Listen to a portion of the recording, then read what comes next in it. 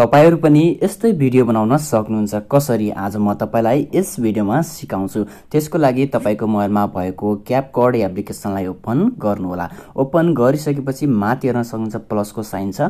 प्लसको साइनमा click गर्नुभन्दा अगाडि यदि तपाईँ हाम्रो च्यानलमा नयाँ हुनुहुन्छ फर्स्ट टाइम हेर्दै हुनुहुन्छ भने सब्सक्राइब गरेर बेलायकन थिच्न नबिर्सिनुहोला। अब साथीहरू प्लसको साइनमा क्लिक गर्नुहोला। यसमा क्लिक गरिसकेपछि यहाँ फोटो भन्ने अप्सन छ। यसमा क्लिक गर्नुहोला। यसमा क्लिक गरिसकेपछि तपाईँलाई मनपर्ने दसवटा फोटो सिलेक्ट गर्नुहोला। तपाईँलाई मनपर्ने तपाईँको दसवटा फोटो सिलेक्ट गर्नुहोला। फोटो सिलेक्ट गरिसकेपछि साथीहरू हेर्न सक्नुहुन्छ। तल हेर्न सक्नुहुन्छ एड भन्ने अप्सन छ। यो एड भन्ने अप्सनलाई सिलेक्ट गर्नुहोला। यसरी सिलेक्ट गरिसकेपछि अब हेर्न सक्नुहुन्छ साथीहरू। यसरी तपाईँको फोटोहरू आउनेछ। आइसकेपछि लास्टमा जानुहोला। लास्टमा गइसकेपछि इन्डिङ भन्ने छ यसमा क्लिक गर्नुहोला। यसमा क्लिक गरिसकेपछि डिलिट भन्ने अप्सन छ डिलिट गरिदिनु होला किनभने साथीहरू तपाईँको भिडियोको लास्टमा तपाईँले भिडियो सेभ गर्दा तपाईँको क्यापकर्ड भनेर आउन सक्छ। त्यसैले सुरुमा नै डिलिट गरिदिनु होला अब साथीहरू अब साथीहरू ध्यान दिएर हेर्नु होला तपाईँले अब फोटोको सेकेन्ड मिलाउनु पर्ने हुन्छ। तपाईँले ध्यान दिएर हेर्नुहोला। अब साथीहरू फोटोको सेकेन्ड मिलाउनको लागि सुरुको फोटोमा क्लिक गर्नुहोला। सुरुको फोटोमा क्लिक गरिसकेपछि सुरुको फोटोलाई तपाईँले राख्नुपर्ने हुन्छ। वान पोइन्ट थ्री सेकेन्डमा सुरुको फोटोलाई वान पोइन्ट थ्री सेकेन्डमा राख्नुहोला। त्यसपछिको दुईवटा फोटोलाई तपाईँले राख्नुपर्ने हुन्छ। वान पोइन्ट एटमा तपाईँले त्यसपछिको दुईवटा फोटोलाई वान पोइन्ट एटमा राख्नुहोला। एउटा वान पोइन्ट एट दुईवटा त्यसपछिको फोटोलाई तपाईँले राख्नुपर्ने हुन्छ वान पोइन्ट नाइनमा वान पोइन्ट नाइनमा त्यसपछिको फोटोलाई तपाईँले राख्नुपर्ने हुन्छ वान पोइन्ट जिरोमा हेर्न सक्नुहुन्छ वान पोइन्ट जिरोमा त्यसपछिको दुईवटा फोटोलाई तपाईँले राख्नुपर्ने हुन्छ जिरो पोइन्ट नाइनमा हेर्न सक्नुहुन्छ जिरो पोइन्ट नाइनमा एउटा अर्कोलाई पनि जिरो पोइन्ट नाइनमा दुईवटा। त्यसपछिको अर्को फोटोलाई तपाईँले राख्नुपर्ने हुन्छ जिरो पोइन्ट फोरमा हेर्न सक्नुहुन्छ। धेरैको जिरो पोइन्ट फोर नआउन सक्छ यसरी दुईवटा फिङ्गरले यसरी जुम गर्नुहोला। अब तपाईँको मजाले जति पनि राख्न सक्नुहुन्छ जिरो पोइन्ट फोरमा राख्नुहोला। त्यसपछिको फोटोलाई तपाईँले राख्नुपर्ने हुन्छ जिरो पोइन्ट सिक्समा हेर्न सक्नुहुन्छ। जिरो पोइन्ट सिक्समा। त्यसपछिको लास्टको फोटोलाई तपाईँले राख्नुहोला जिरो पोइन्ट नाइनमा। हेर्न सक्नुहुन्छ? जिरो पोइन्ट नाइनमा। यति गरिसकेपछि तपाईँको फोटोको सेकेन्ड मिलिसकेको छ। अब साथीहरू तपाईँले एनिमेसन लगाउनु पर्ने हुन्छ। एनिमेसन लगाउनको लागि अब ध्यान दिएर हेर्नु होला अब साथीहरू तपाईँले फोटोमा एनिमेसन लगाउनु पर्ने हुन्छ। एनिमेसन लगाउनको लागि सुरुको फोटोमा क्लिक गर्नुहोला। सुरुको फोटोमा क्लिक गरिसकेपछि तल हेर्न सक्नुहुन्छ एनिमेसन भन्ने अप्सन छ। यसमा क्लिक गर्नुहोला। यसमा क्लिक गरिसकेपछि यहाँ कोम्बो भन्ने अप्सन आउँछ।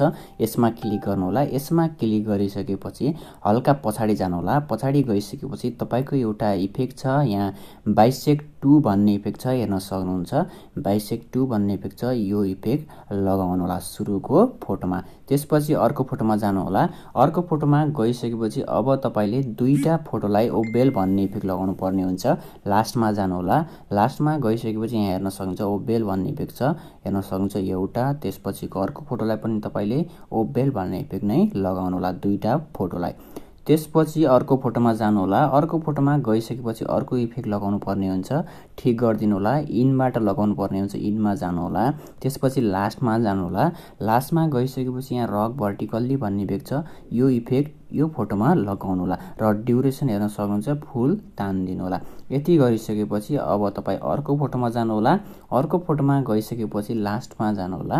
लास्टमा गइसकेपछि यहाँ हेर्न सक्नुहुन्छ। सेक थ्री भन्ने इफेक्ट छ। यो इफेक्ट यो फोटोमा लगाउनु होला र ड्युरेसन लास्टसम्म तानिदिनु होला। त्यसपछि अर्को फोटोमा क्लिक गर्नुहोला अर्को फोटोमा गइसकेपछि ठिक गर्नुहोला अर्को इफेक्ट लगाउनु पर्ने हुन्छ कोम्बोबाट। कोम्बोमा जानुहोला कोम्बोमा गइसकेपछि अब तपाईँ लास्टमा जानुहोला लास्टमा गइसकेपछि यहाँ हेर्न सक्नुहुन्छ ओबेल भन्ने इफेक्ट छ।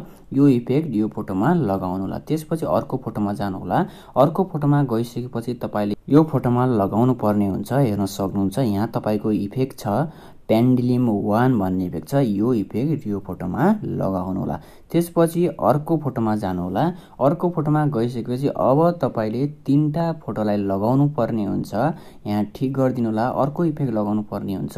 इनमा जानुहोला त्यसपछि लास्टमा जानुहोला लास्टमा गइसकेपछि यहाँ हेर्न सक्नुहुन्छ जुम वान भन्ने इफेक्ट छ। एउटा त्यसपछि अर्को फोटोमा पनि जुमान दुईवटा त्यसपछि अर्को फोटोमा पनि जुमान तिनवटा यसै गरी हेर्न सक्ने ड्युरेसन चाहिँ फुल तानिदिनु होला। यसरी ड्युरेसन फुल तानिदिनु होला तपाईँको भिडियो राम्रो हुनेछ एनिमेसन राम्रोसँग लाग्नेछ। त्यसपछि ठिक गरिदिनु होला। यति गरिसकेपछि अब तपाईँले इफेक्ट लगाउनु पर्ने हुन्छ यहाँ तल हेर्न सक्नुहुन्छ। इफेक्ट भन्ने अप्सन चाहिँ यसमा जानुहोला यसमा गइसकेपछि अब तपाईँले यहाँ हेर्न सक्नुहुन्छ। लास्टमा जानुहोला यहाँ फ्रेम भन्ने अप्सन छ। यसमा जानुहोला र यहाँ हेर्न सक्नुहुन्छ कलर भन्ने अप्सन छ। यसमा क्लिक गर्नु होला र ठिक गरिदिनु होला यसलाई चाहिँ तपाईँले तानेर लास्टसम्म राखिदिनु होला त्यसपछि फेरि अगाडि आउनु होला तपाईँले फेरि एड इफेक्ट गर्नुपर्ने हुन्छ। यसमा क्लिक गर्नुहोला। त्यसपछि बेसिकमा जानुहोला। त्यसपछि यहाँ सेक भन्ने इफेक्ट छ। यो इफेक्टमा क्लिक गर्नुहोला। ठिक गरिदिनु होला र यसलाई चाहिँ तपाईँले घटाउनु पर्ने हुन्छ। सुरुको फोटोलाई मात्रै राख्नुहोला। यति गरिसकेपछि तपाईँको भिडियो रेडी भइसकेको छ। अब साथीहरू साउन्डको लागि। साउन्डको लागि चाहिँ मैले यो भिडियोको डिस्क्रिप्सनमा यो साउन्डको लिङ्क दिएको छु। त्यसमा क्लिक गर्नुहोला।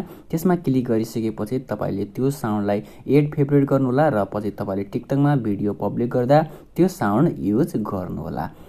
अब साथीहरू भिडियो सेभ गर्नको लागि माथि हेर्न सक्नुहुन्छ। एरोको साइन छ यसमा क्लिक गर्नुहोला। यसमा क्लिक गरिसकेपछि एक्सपोर्ट भन्ने अप्सन छ। एक्सपोर्ट गरिदिनु होला यति गरिसकेपछि तपाईँको भिडियो रेडी हुनेछ। तपाईँको ग्यालेरीमा सेभ हुनेछ। Thanks for watching this video अरू पनि भिडियो हेर्नको लागि यस च्यानललाई सब्सक्राइब गर्न नभुल्नुहोला।